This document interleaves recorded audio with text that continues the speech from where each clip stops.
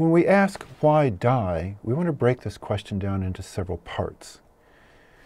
There's the physiological basis of aging. There's the machinery of our body that wears out, grows old. And this we'll see is due to a couple of factors. I'm going to concentrate on first the fact that our chromosomes get shorter as we get older, and secondly, that our DNA and our chromosome is damaged, and this damage accumulates as we get older. Then, on a much broader time scale, we want to ask evolutionarily about aging. And there are two evolutionary theories of aging. First is antagonistic pleiotropy.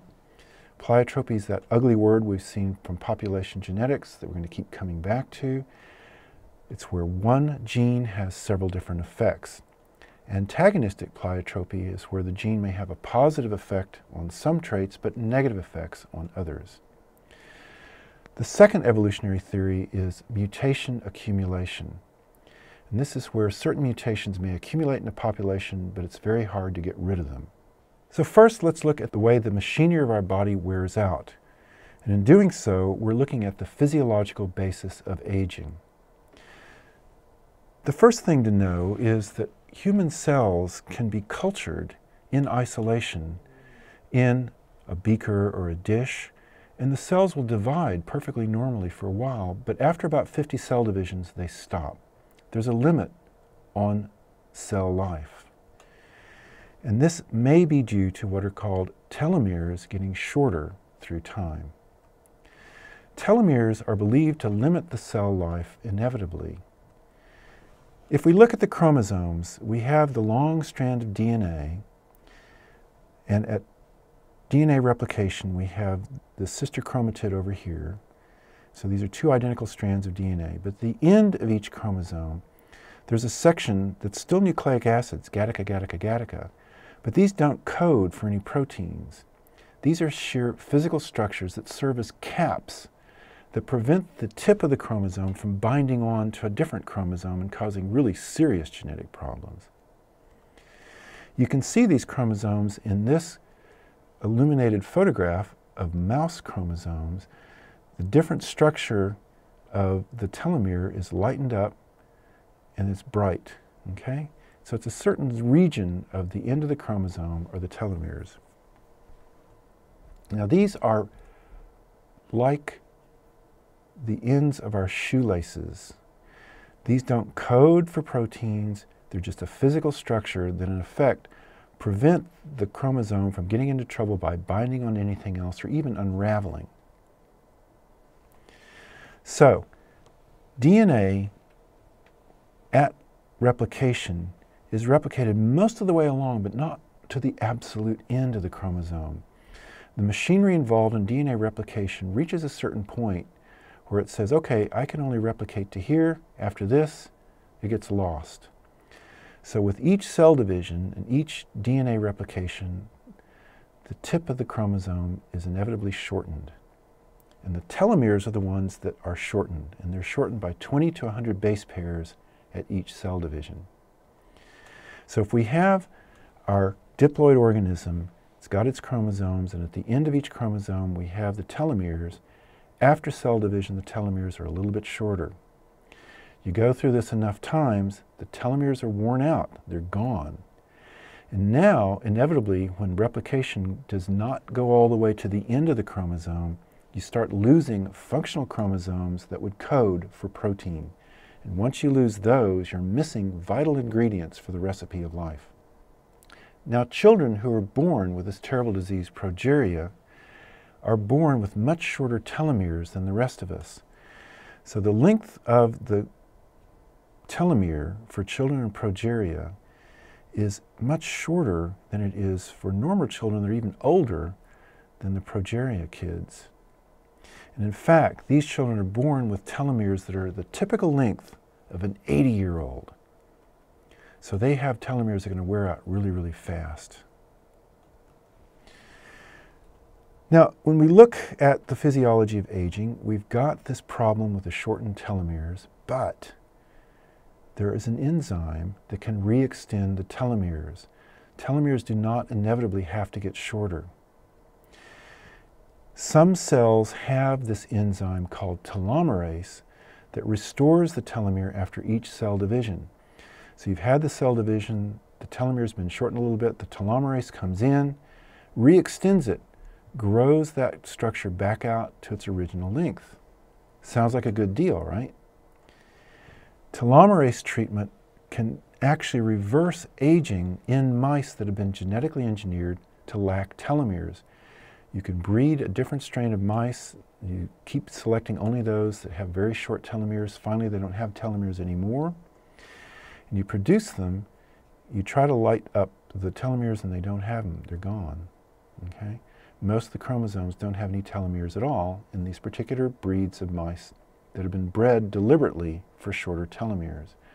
But then, if you treat them with telomerase, they start producing longer telomeres. And even more amazing is that if you have a mouse that has no telomeres, its brains shrink. But if you treat it with an enzyme, the telomerase, the brain will grow back, it'll recover. So these without telomeres, their brains shrink very rapidly compared to normal mice. And if you give them the telomerase, though, their brains are more like normal. So prematurely aged mice can actually be rejuvenated by restoring their telomeres. So telomerase can restore the telomere after each cell division. And some particular cells in our body do have telomerase. Especially important are our germ cells. That way men can produce sperm where the sperm will have the right long length of telomeres that allow their offspring to go off and be healthy. But the rest of our cells in our body do not have the telomerase. The problem with telomerase is that cancer cells also have telomerase. And that's what allows them to proliferate endlessly. So if you have cell division in a cancerous cell, it has the telomerase, so the telomere doesn't shorten. And what happens in a, in a cancerous tumor is the cells are just dividing like crazy over and over and over again, and it grows a horrible tumor that kills the individual that possesses it. So telomerase is not a cure for aging that any of us would want to try out on our own. The second main mechanism for aging at the cellular level is caused by DNA damage, which is the inevitable consequence of metabolism. Every time we eat, as we breathe, our cells are being exposed to byproducts, including hydrogen peroxide, free oxygen, ozone, nitrous oxide, etc. And these compounds bind to our DNA and to our cell membranes, and they reduce the function of our cells. When studying the physiology of aging, it's really useful to choose a study animal that only lives for a few weeks or months. An excellent choice for this is the nematode Caenorhabditis elegans, which only lives for a few weeks.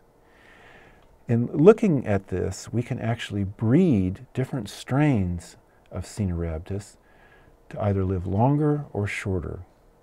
And when we characterize the lifespan of these organisms, we want to do this using what's called a survivor curve. We start out with everybody being alive at birth, so that's time zero, and there's not yet any signs of aging. So all the individuals in these different strains survive until about two weeks of age.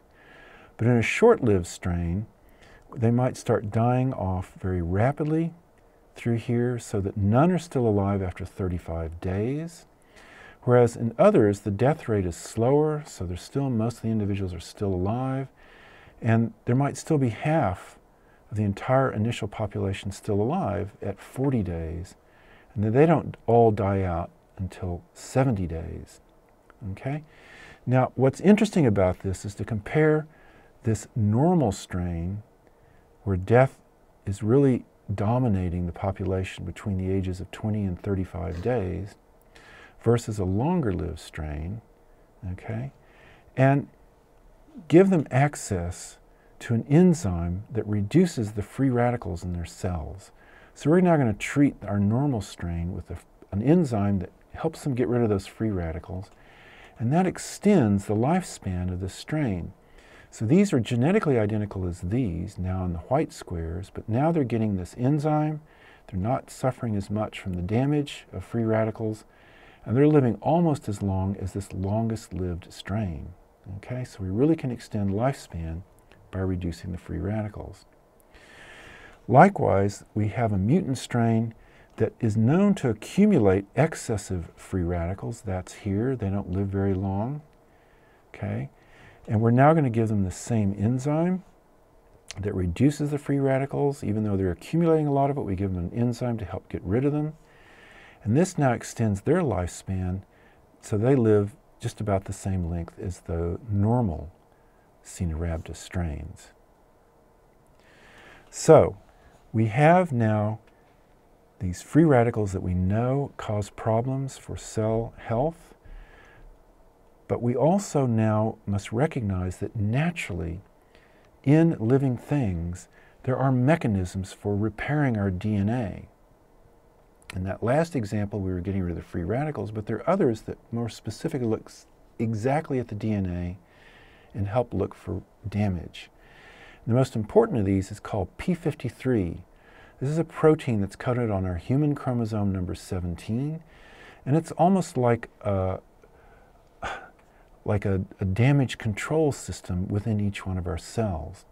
So P53 goes around, looks at the chromosomes, looks at the DNA, and if it finds damage, it acts like an emergency brake. And it says, hold it everybody, I gotta make a decision here what we're gonna do, okay? Now, we're either gonna say, okay, damage is beyond repair, this is a dead loss. Okay, turn off the cell cycle, let this cell die, disappear, get rid of it. We don't want it around. Or it says, oh, hey, we can fix this. And it activates the DNA repair system.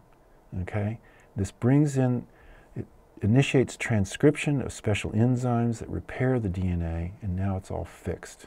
Okay, so cells that don't have P53 are very unstable genetically and they're far more prone to cancer. One of the reasons we want to make sure that cell life and death is being controlled very carefully in our bodies is we don't want to get cancer.